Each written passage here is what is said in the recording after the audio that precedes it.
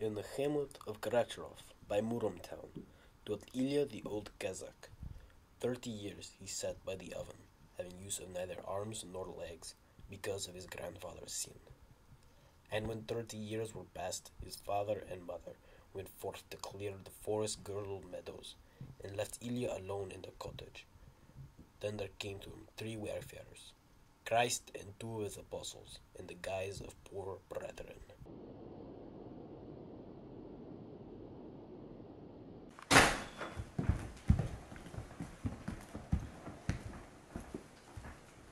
Welcome, good people. How may I help you? There's kvass in the kettle, but alas, I cannot get it for you. I cannot move. That is not true. Now rise and go fetch us and yourself some drink.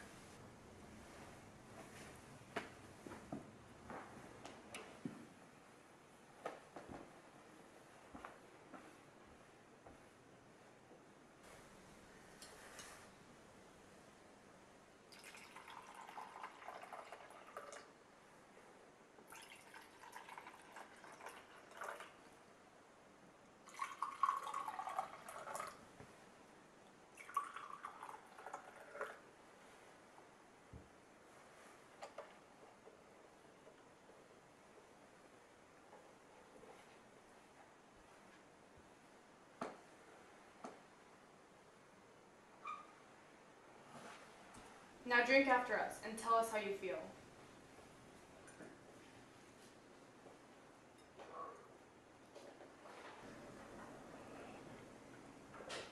I feel a great strength, as if I could move the earth.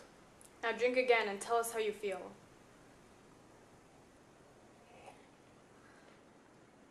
I feel a great strength, but only half of what it was. Perfect. Any more strength in the world cannot support you. You are now ready to go out and defend the Christians from the infidels. But be warned, there are three men that are stronger than you Volgi, Svyatogor, and Mikula. Go now to the royal city of Kiev. Ilya left his house and began his journey. First, he walked to his father, who was resting after the work he had done. Ilya began to clear away the trees.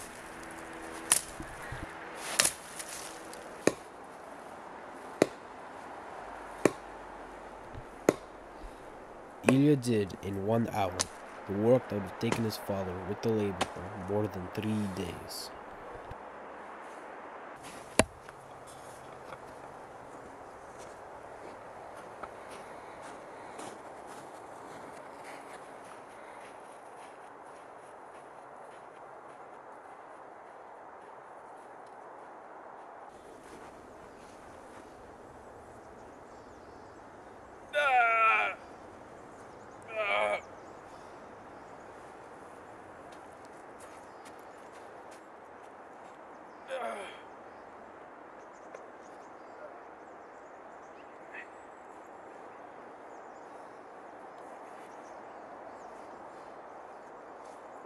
Bob, wake up! What? What? Look around. What? Is there a bear? No, Oh, wow! This is incredible! Who did this? This is incredible! I, I don't have any more work to do and just. Who did this? This is fantastic!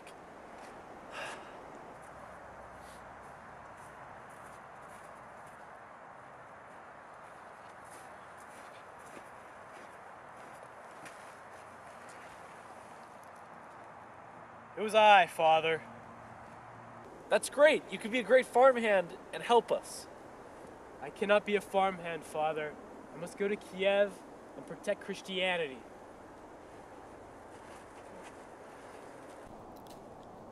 Ilya strode far and met a peasant with a thin, weak foal. How much for that foal, good sir? For this foal, one grivna of silver. May seem a bit much, but uh, man has to eat. Thank you. Godspeed.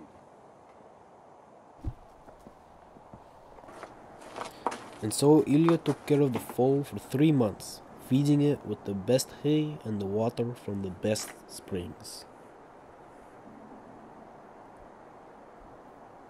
And after these three months, he put three drops of dew on the horse.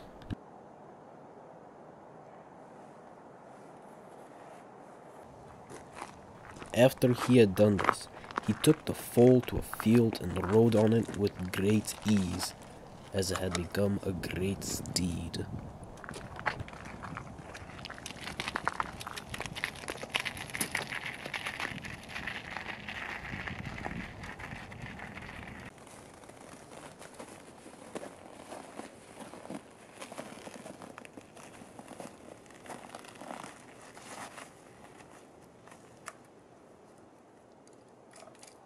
Ilya came to a pavilion of white cloth with a bed inside, and lay down and quickly fell asleep.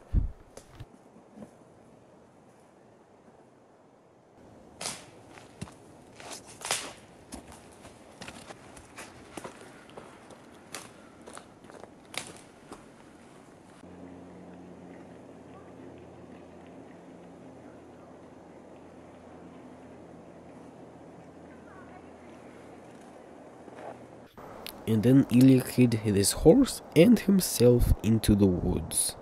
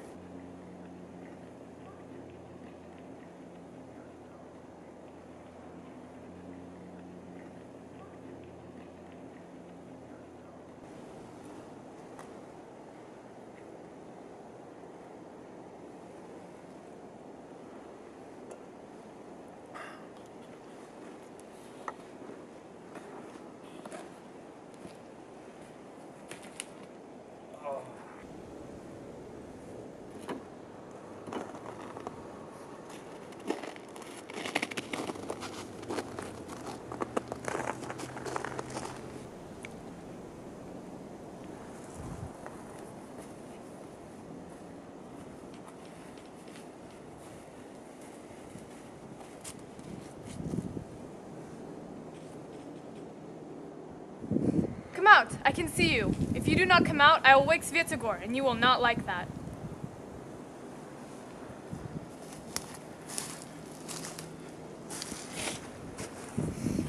Who are you?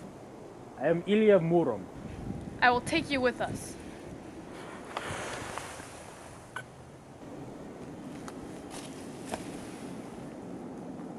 Wake up. What? Are we going?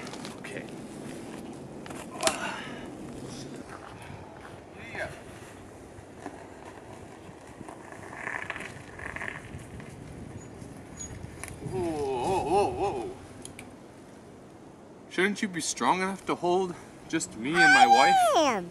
But there's an extra hero in your pocket. There is?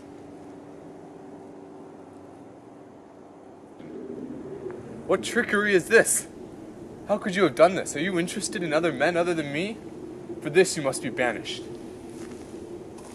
Who are you?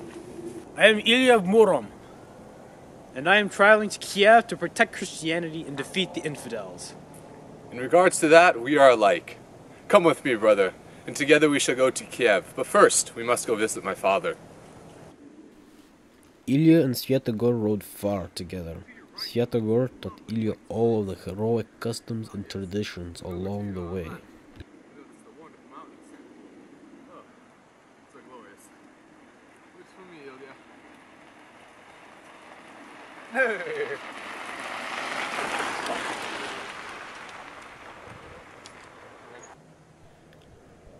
Ilya Sviatogor reached the holy mountain and made their way to reach Sviatogor's blind father. Ilya, I will introduce you to my father. But when we get there, you must give him a piece of iron. You must not give him your hand.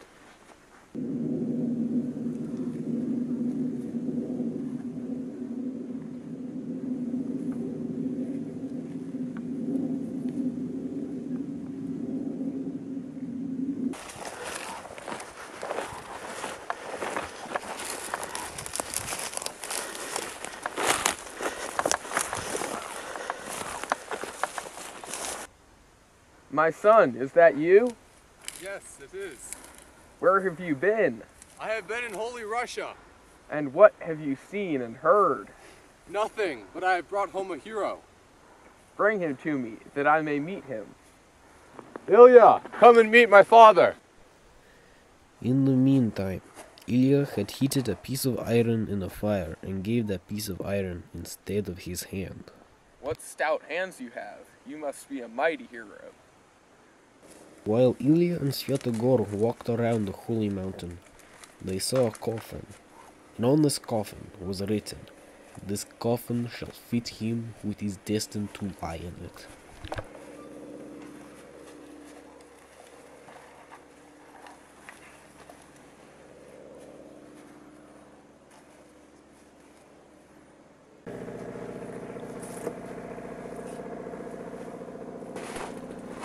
Ilya decided to lie in the coffin as a jest, but it was too big.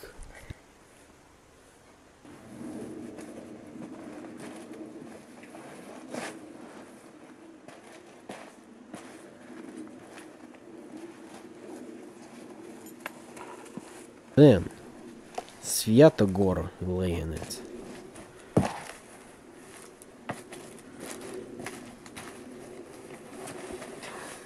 And it was perfect. Ilya, cover me with the lid to this coffin, for I am destined to lie in it. Brother, I will not cover you. You know, this isn't funny, you preparing to entomb yourself.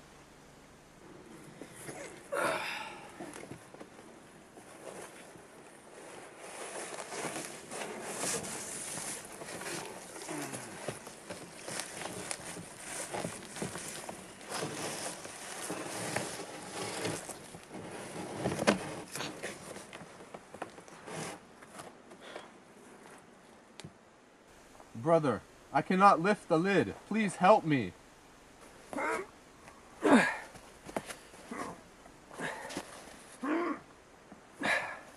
Take my great battle sword and break this lid.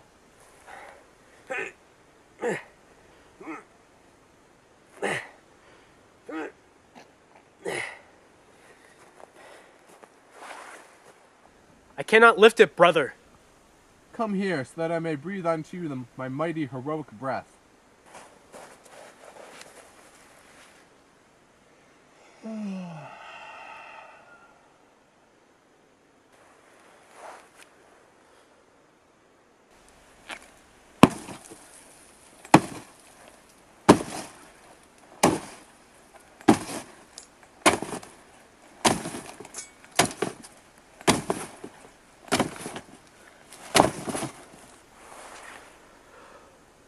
I am dying, Ilya. Come down here again so I may breathe my breath again. My strength is enough, brother. Any more and the earth would not be able to hold me. You have done well, brother. If you had obeyed my last command, I would have breathed the breath of death and you would lie dead next to me for all of time. But now, farewell. Take my great battle sword, but tie my great steed next to my coffin, for no one else may possess that horse.